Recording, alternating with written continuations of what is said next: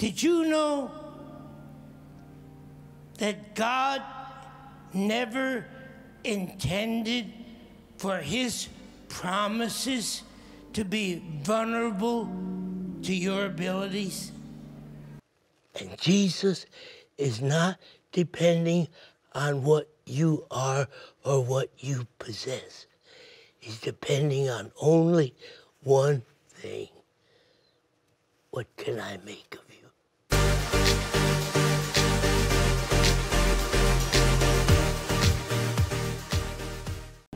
You see, faith is not just a fact,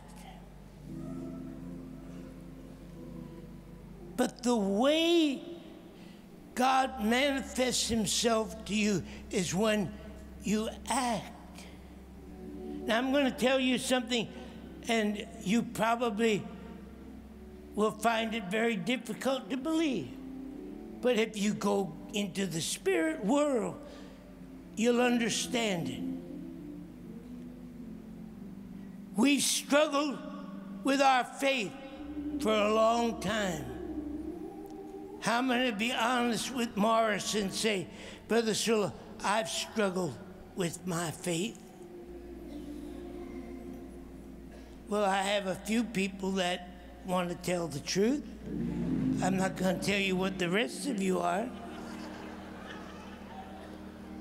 Anybody here ever struggle with your faith?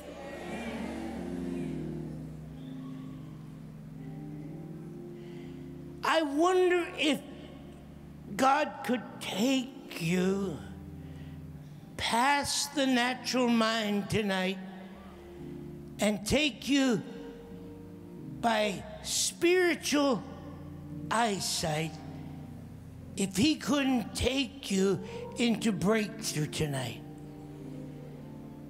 Did you know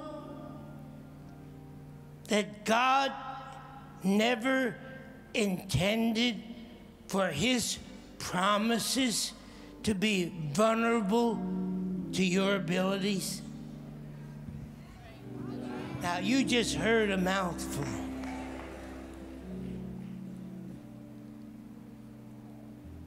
God is not struggling with your faith. He just wants you to act on what He said. He prayed the most unusual prayer. Usually, when we have a need, we go to God and we say, Lord, give me, Lord, give me, Lord, give me, Lord, give me, and Lord, give me some more. But it was very strange that he didn't ask God to give him something, but when he came before the Lord, the first thing that he did was recognize who he was calling upon. Did you know that when you pray, you are not praying to the ceiling? Did you know that when you pray, you're not praying to the light bulbs?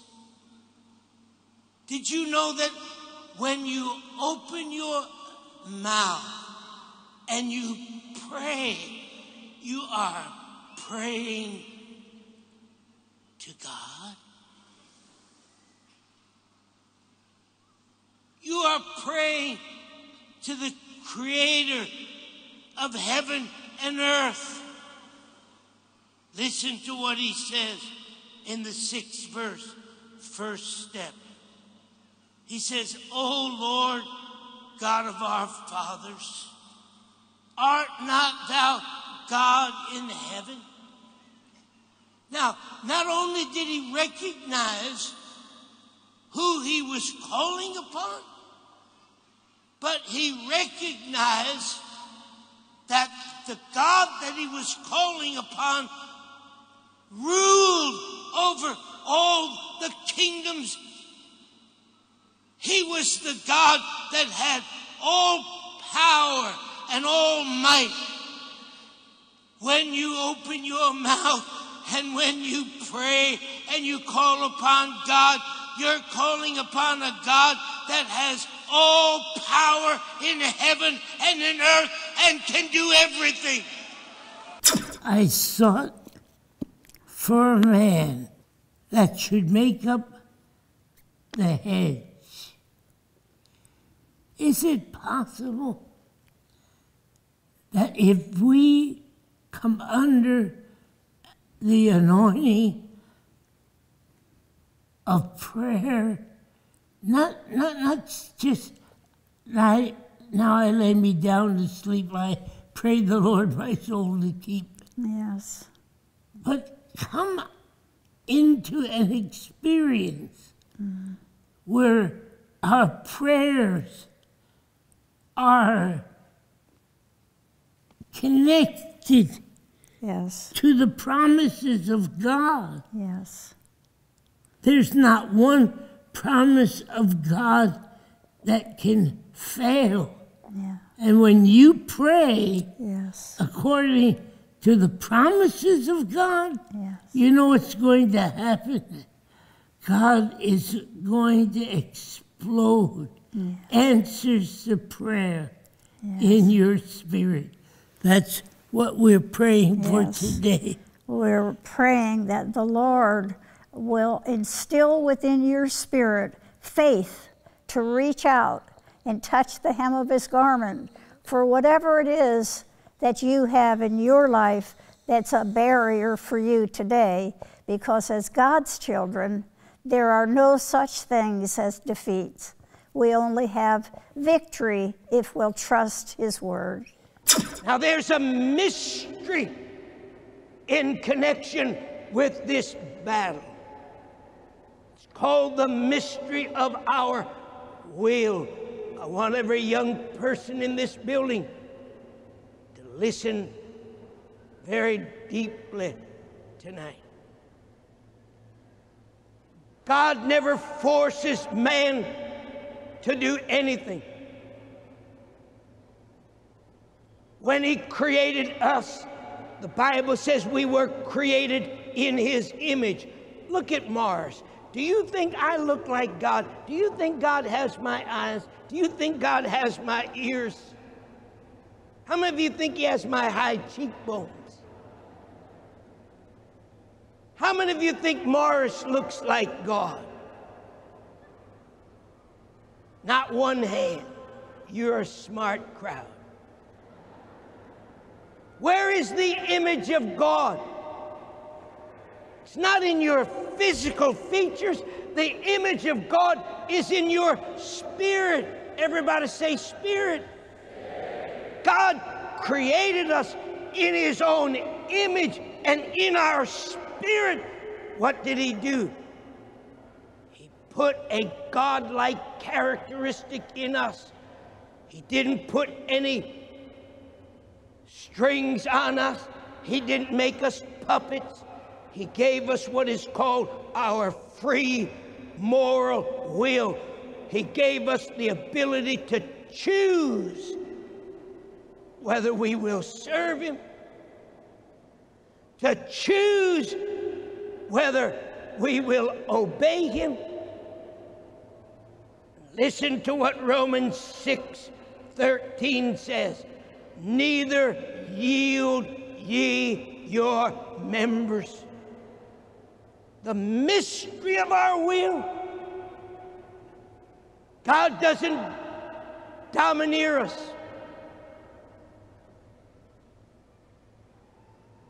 Gave us a free will to choose whether we will yield our members to sin to unrighteousness or whether we will yield them in righteousness unto God. He gave us that choice, the power of our will. He gave it to us. God doesn't rule it. The only time God rules your will is when you come to Christ. And when you surrender your life to Him, that's what salvation and the miracle of salvation is all about. You and I getting off of the throne of our life and saying, Jesus, I surrender to you. You come and you live and you rule and you reign and you dictate. He said to them when he went into the room, he said, Go ye into all the world. Go on. Now, I wouldn't. Would I send these unbelievers? Would I send these no good renegades who walk with him, who saw him open the eyes of the blind, unstop the ears of the deaf, raise the dead? And now he himself appeared to them in his resurrected body, and the angels appeared to them, and the testimony is the same. They believe not, they believe not, they believe not. And now Jesus comes into that room. Go into all the world, preach the gospel. I wouldn't send them. You probably have more faith than I do. But Jesus looked at him, and here's the key. When he saw them, he was not depending on what they And Jesus is not depending on what you are or what you possess.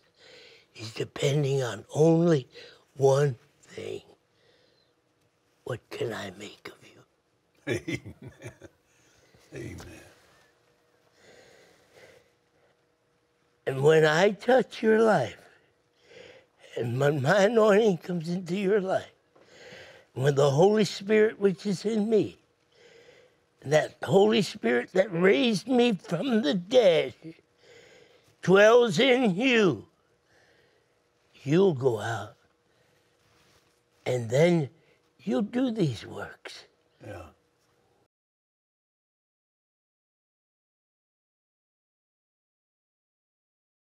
God never intended for his church that he gave birth to 2,000 years ago, he never intended for it to know one limit. He never intended for it to be deceived by the power of the devil.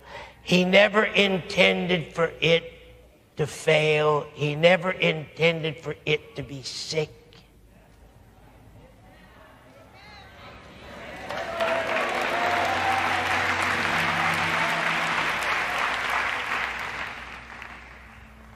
Just reach up like this. Go. Are you ready for this? Did you know that God fully intended for his body to walk in and possess the same power, the same anointing, the same faith, the same powerful perseverance, the same overcoming ability, the same that his son Jesus Christ had when he was here 2,000 years ago. Are you ready for this? that God is not the product of time.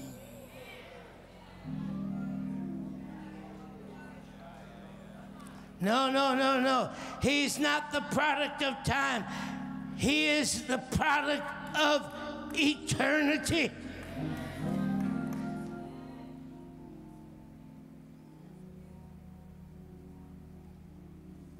We need to be reminded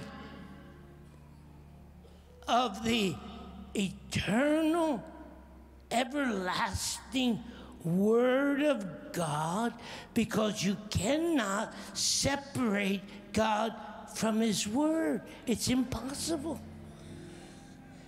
God is His Word. Heaven and earth is going to pass away, but the Word of God is never going to pass away. Forever, His Word is settled in the heaven. Now, there's a power that you and I deal with, and that's Satan. He would like to rob you tonight of your miracle. But may I tell you something tonight? There's only one way that the devil can rob you of your miracle, and that's if you allow him into your circumstance. Oh, you didn't hear me. You didn't hear me. If you refuse to allow Satan to come into your circumstance, he cannot ever be an obstacle.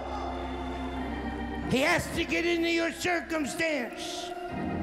I knew my call from that heavenly experience that I had. Mm.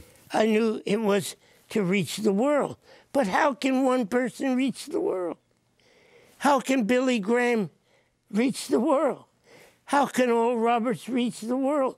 How can Benny Hinn reach the world? It's impossible.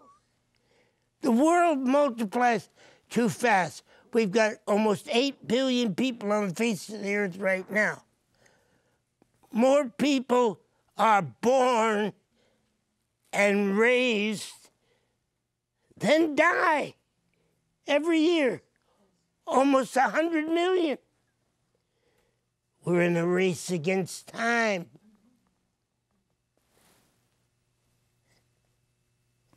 So in Brazil, Yes. that's where something happened. Well,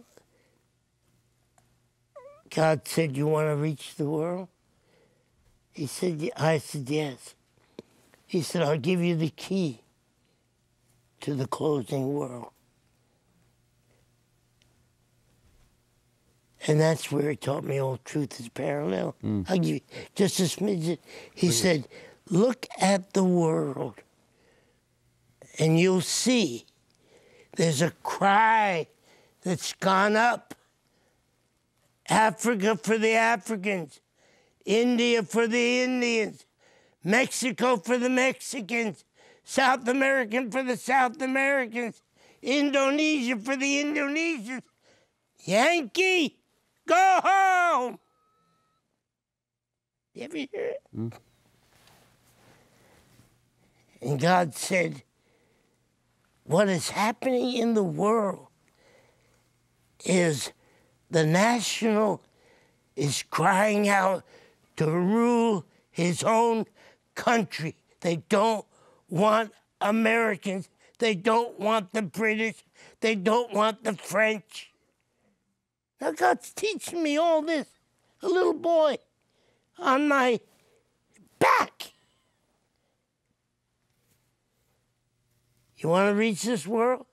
He said, be smart like the world. Mm. He said, the key is you raise up the African to reach Africa. You raise up the Indian to reach the Indian. And that's when I came out of that experience. I changed my whole course of doing things. Well, this is when you began training nationals. National, that's right. So that's what the turning point. That was the Brazil. defining moment. And that really has set you apart. We've trained five million. Five million. Nationals. that we are going to study now will prepare us for victory. And it will also enable us to confront,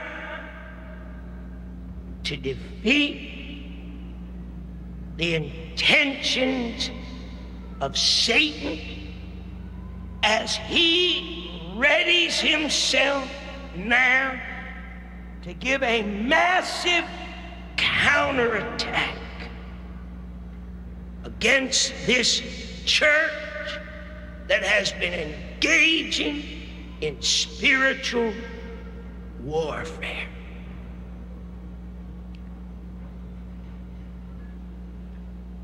The first offensive strategy is to set your mind on victory. Set your mind on victory.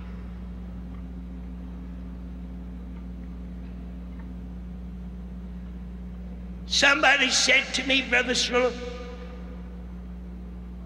how is that possible? Do I have the control over my mind?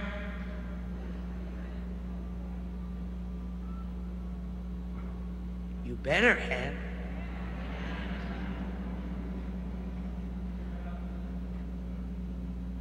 It is up to you and I. Whether we are going to bring the mind into submission or whether we are going to allow the mind the freedom to wander, to be uncontrolled. It's up to us. Preaching the gospel of salvation, healing, and deliverance, Morris Cerullo ministered anywhere and everywhere. From the start, unexpectedly large crowds gathered. Altar calls were massive. The blind see, the deaf hear, the lame walk, proof of the presence of God, the power of Jesus to save and to heal, and the call on Morris's life. But he was not content. It wasn't just Americans that needed Jesus. Morris was called to the world. In 1955, not knowing evangelistic crusades were illegal in Greece, Morris flew to Athens for his first international crusade. Met with the impossible, he did what has since become his standard lifelong practice. He locked himself in his hotel room and prayed until God gave the victory. Ten days later, a stranger appeared at his door. Good morning, she said. My husband is the president of the Bank of Athens. I am here to help you get the permits you need. From all over Greece, they came, packing an Athens theater to hear the young evangelist proclaim, I greet you today in the name that is above every name, Jesus Christ, the Son of the living God. Widespread worldwide acclaim followed, then preceded every appearance Morris made. In Haiti, voodoo witch doctors tried to kill him, but were countered by God's protective power. In the Far East, false gods entrapping people in Buddhism, Shintoism, Hinduism, and other shackling beliefs fell to the sword of the Spirit, which is the Word of God. He is alive! What's up, guys? Happy New Year! And remember, we have many amazing preachers in our channel. I want to really recommend it to you to watch. We have Pastor Bill Johnson, Reinhard Bonnke, Billy Graham, and also in this channel, we want to really give the opportunity to you to receive spiritual blessings, breakthroughs, knowledge from preachers around the world. Even you don't know, I want to recommend to you, like Pastor Satish Kumar, a pastors over 100,000 people in India, Brother Young, David Yonggi Cho, Bishop Dag Heward-Mills, and sure, you're gonna be blessed.